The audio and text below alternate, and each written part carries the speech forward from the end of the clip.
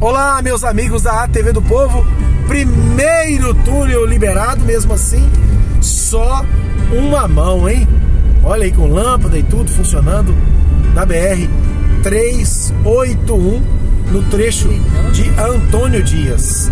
531 metros de duplicação. Olha, para você ver, 531 metros, mas não é duplicado.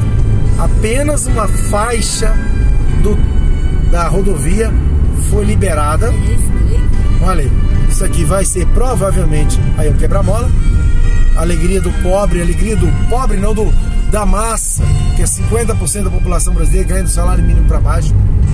Aqui vai ter algum retorno, alguma coisa assim, olha. Não sabemos o que é. Uma coisa aí.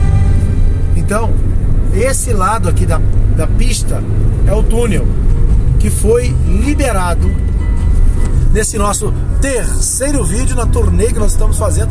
É como se fosse uma turnê investigativa das obras de duplicação da BR-381. Lá em cima na mata, provavelmente será a outra via, lá, lá na mata, ó, lá em cima, será a outra via que vem de BH, essa, que vai para BH. Provavelmente essa aqui, quando for finalmente liberada, será apenas a pista que vem isto é, o que eu estou pensando, tá? Não tenho certeza. Porque a biga é duplicação, nós não estamos falando de mão, mão dupla, é pista dupla. Então a gente não sabe, ó, pode ser lá em cima, sei lá. Olha lá, tem uma pista lá, de repente é lá, olha, não sei dizer. Sinceramente, não sei dizer para você que nos acompanha que pista será essa. Parece, pelo andar aqui da, da, da faixa, parece que esta pista é a que está indo para Belo Horizonte mesmo. E será. Mas a gente só saberá depois de ver isso aqui pronto. Não sabemos dizer quem é quem. Está sendo construído ali, olha. Talvez, talvez seja do lado de lá, ó. Talvez seja do lado de lá, mas não sei dizer.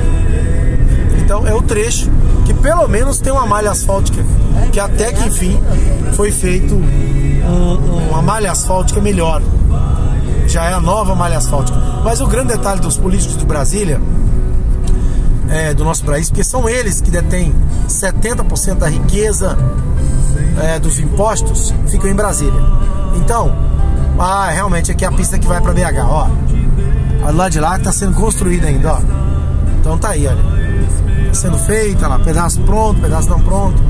Mas o que eu quero dizer é que que esse trecho todo, olha, o cara ultrapassando, querendo ultrapassar faixa contínua, é difícil. Por isso, só a duplicação que resolveria mesmo uma situação dessas. Somente uma duplicação para resolver as imprudências que acontecem no trânsito. Olha, o carro está atrás de nós aqui, esse aí que você está vendo no retrovisor, ele quer ultrapassar em faixa contínua. Aqui não é permitido ultrapassagem mas ele quer ultrapassar. Então você viu aí o primeiro túnel liberado. Siga e... na direção oeste na BR-381. Olha, ultrapassou, olha. Ele ultrapassou. Ele foi teimoso e ultrapassou. Faixa contínua. Então é isso aí que a gente vê.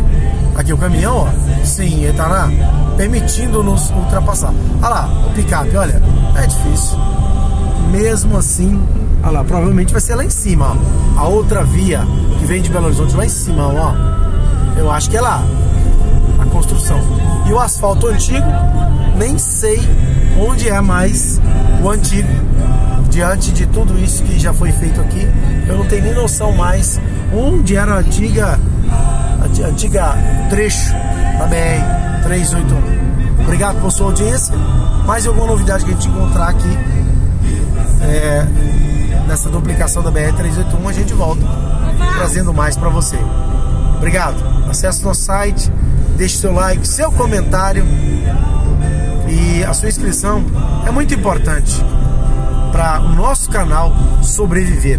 Estamos completando 10 anos de ATV do Povo e aí é isso que a gente vem mostrar para você. A duplicação há 5 anos da BR 381. É escadaria, ó. Escadaria para descer churrada, com certeza. É, provavelmente para descer churrada. Aquela escadaria ali, a quebra d'água, olha ali.